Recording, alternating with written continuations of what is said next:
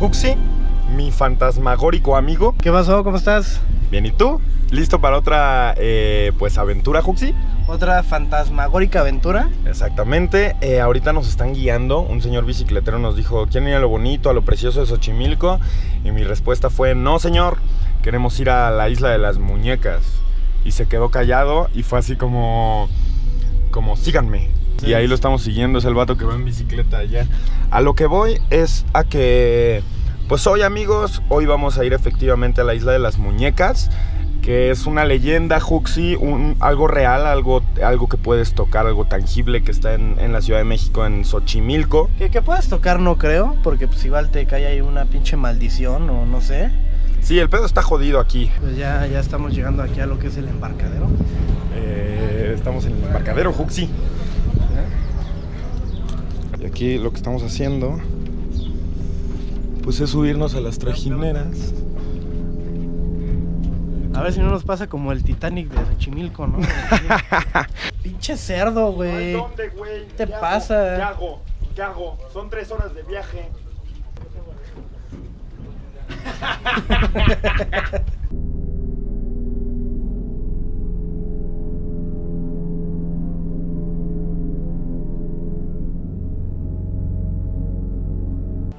Aquí podemos ver a Barbie y a Ken pues en un pedo muy sexual, Juxi.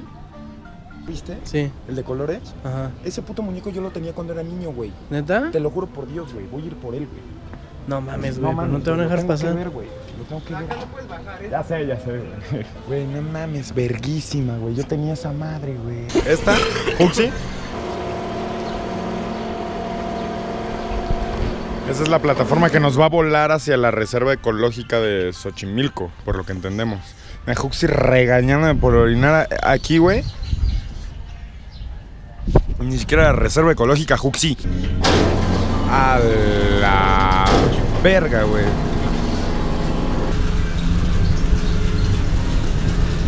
¿Saben qué quiere decir esto? Que, que cruzando esto estamos atrapados en Xochimilco, Juxi. Sí, ya es como entrar al, al bosque de Blair. Exactamente, güey.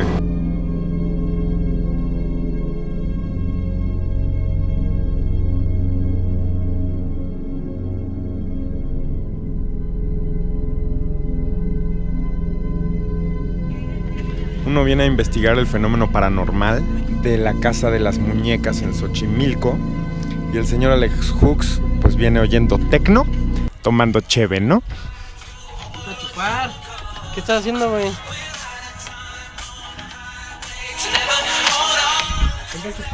Pues es la investigación del señor Alex Hooks.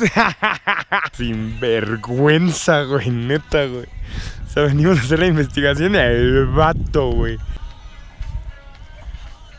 Creo que es la investigación más interesante que hemos hecho, ¿no?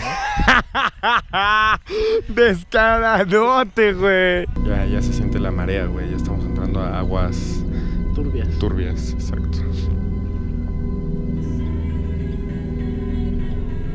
Mira, Juxi, ya se- ¿puedes apagar tu pendejo tecno, güey?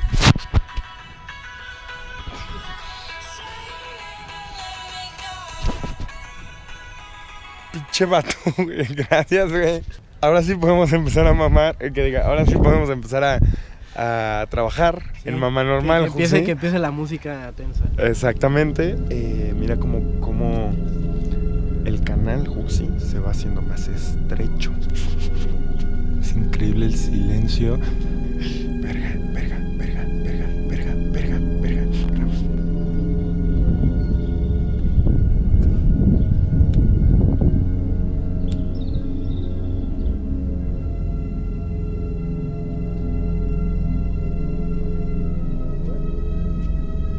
Pues estamos en un lugar difícil, estamos en unas tumbas. Esto en, en 1950 imagino que el nivel del agua estaba más alto y aquí se ahogó una niña. La cruz que, le pusieron.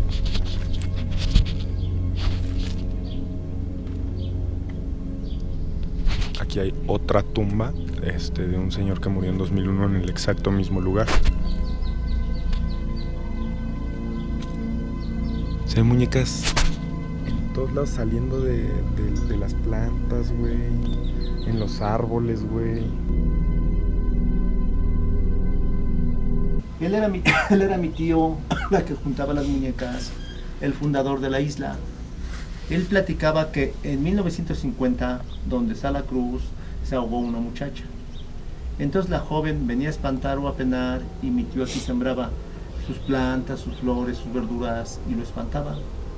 Él, para que no lo espantaran, cuando salía a traer su comida, encontraba las muñecas en los canales o en la basura. Las levantaba, regresaba con su comida. Llegando aquí, todas las muñecas que había encontrado las colgaba en los árboles o en alambres colgadas. ¿Para qué? Ahora sí que la finalidad, la finalidad de las muñecas es para espantar al espanto del espíritu de la muchacha y para que lo protegiera. Y donde se ahoga la joven, muere mi tío a los 50 años después en el mismo lugar. Ahí mismo él murió. Él muere de un infarto. La historia y la isla de las muñecas en sí es positiva. Sí. Es para espantar malas vibras de, de penas que, que se pueden dar que su tío pudo haber este, percibido. Sí. esa es Y, la y- y la, la televisión y los medios tradicionales por medio del morbo y del amarillismo le han hecho mala fama a la isla de las muñecas Sí. y están construyendo réplicas en todos lados todos para lados. espantar. Y eso Sí. es injusto, obviamente, sí. para, para lo que significa en verdad. Y yo siempre he dicho que ahora sí que bueno, jóvenes que llegan a la original, que no se dejen engañar por otros lados.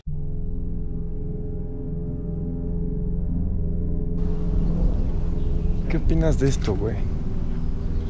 ¿De qué? ¿De la mona? Pues no es precisamente la mona Huxin lo que, lo que, a lo que me refería, pero, pero verga, o sea, ¿por qué la muñeca tendría tantos hoyos en la cabeza, güey? Es de pelo que tenía, güey. Aquí hay una cabash, cabash patch.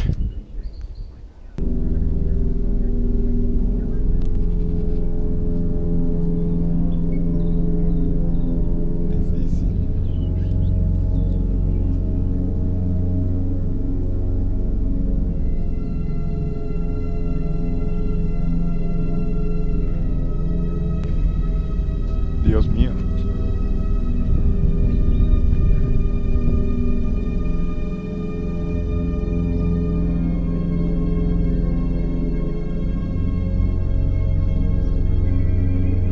O sea, no, no hay una muñeca igual, güey. No, no existe aquí. Todas las muñecas están demacradas de una manera diferente, pero ninguna se parece, mira.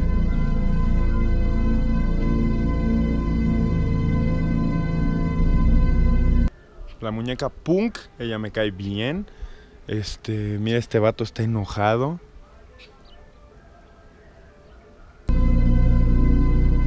No se siente tan, tan como la mala vibra, sino que el simple hecho de ver a las muñecas como están deterioradas por el tiempo y cómo se ven tan culeras, creo que sí es lo que te causa como ñañaras, como diría mi abuela, ¿no? Exacto, Juxi.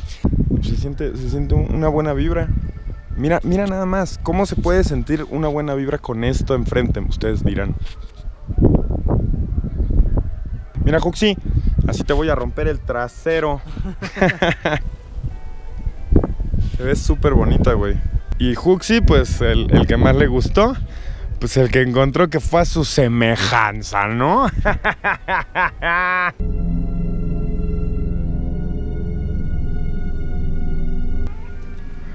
qué has visto? ¿Qué has visto? ¿Hay muñecas? ¿Hablan? ¿Ellas hablan? Dios mío. Güey, eso fue muy raro, güey. A la verga, me dio miedo eso, güey.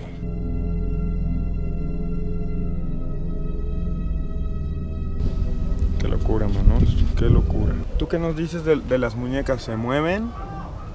¿Hacen algo?